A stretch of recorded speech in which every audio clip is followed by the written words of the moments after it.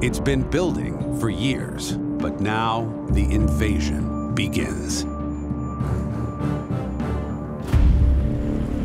Despite the increasing numbers of sharks in the water, a select few fishermen will go one step further to bag a once-in-a-lifetime trophy fish.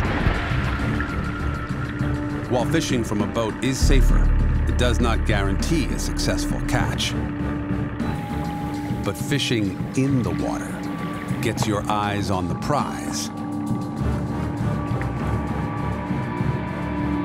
And the bigger the risk, the bigger the reward. When spear fishermen get wind of Ascension's giant fish, it doesn't take long before flights fill up and the fishing tourism expands into spearfishing. Everyone wants a piece of Ascension's bounty. And believe it or not, some are crazy enough to compete with sharks to get it. If the fishermen had begun to ring Pavlov's bell, the spear fishermen turned it into a sounding gong. Spearfishing is a very attractive activity for sharks. First of all, you have the sound associated with a, a spear gun hitting a fish, and then you have uh, highly irregular activity from the speared animal. On top of that, it's going to be bleeding. And so all of those things go to the brain of a shark. The sound, the smell, the sight is a perfect storm for a shark to get multiple signals coming into the brain that says, there's a meal here. Spear fishermen also don't use bait or lures. The only way they can attract big game fish is to chum on a large scale. Blocks of chum are deployed at dive sites. This mega chumming has a profound effect on the big tuna and wahoo, but with them come the sharks.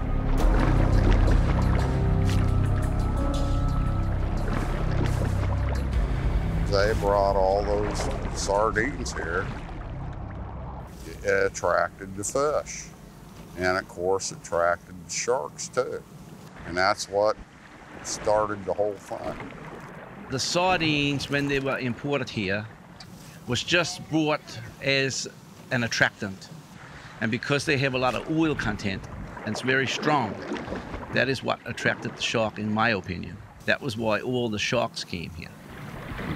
An experienced spearfisherman knows how clever a shark is.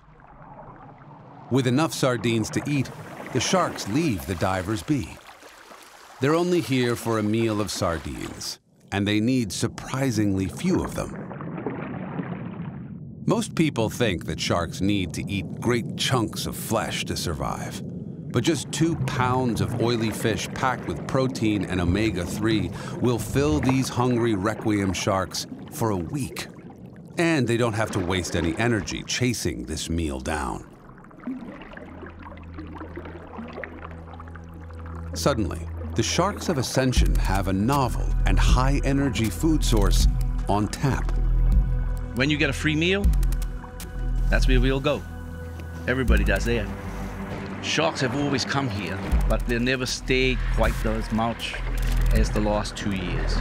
They came and they stayed, and I think that interference by man caused that interruption to nature.